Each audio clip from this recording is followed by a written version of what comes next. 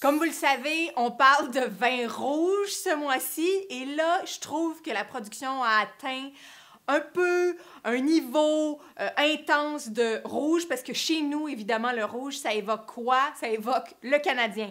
Mais le Canadien de Montréal, équipe de hockey, j'en ai un petit peu assez de parler de hockey à vue sur le web. En plus, on m'oblige à porter du rouge. Euh, bon, donc là, là, c'est assez, là. On va faire comme une petite pause là-dessus. OK! Bon, là, je m'entends mieux. Euh, je me rebelle contre le Canadien. Ce soir, match Flyers de Philadelphie. J'ai décidé qu'on buvait pas du rouge, mais du blanc. Yeah! J'ai choisi un Alsacien binaire, quand même une euh, grande pointure euh, en Alsace. Un homme qui travaille, pas juste, euh, pas juste lui, hein, quand même, sa femme participe beaucoup au domaine. donc, un couple qui travaille en biodynamie la vigne et qui font des vins plutôt sympathiques. Les saveurs, donc un vin d'assemblage sur 2008. On goûte à ça.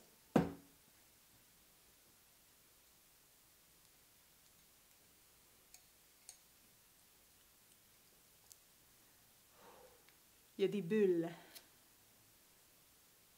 petit peu de gaz. Déjà, on voit la couleur, une couleur un peu trouble. Oh! Donc, il y a un nez un petit peu levurien, euh, quelque chose de super fruit, assez éclatant, un peu pomme genre de, de vin euh, d'assemblage d'Alsace. Les vins d'assemblage, c'est toujours dur de savoir exactement ce qu'il y a dedans. Donc, euh, généralement, c'est un peu un, fourre-tout d'un petit peu, euh, petit peu de chaque cépage. Donc, Riesling, Pinot blanc, Pinot gris, peut-être une touche de Gewürz. Donc, ça donne quelque chose d'assez épicé, un peu floral, du fruit. C'est c'est un beau nez, c'est quand même assez exubérant. On goûte?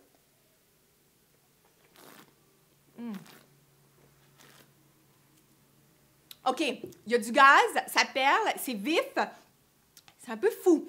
Euh, je dirais pas que c'est un vin euh, droit, ça part un peu dans tous les sens, il y a des amers, euh, c'est c'est unique. C'est unique, c'est super pour un apéro canadien ou pas canadien. les saveurs de binaire sur 2008, bu sur le web.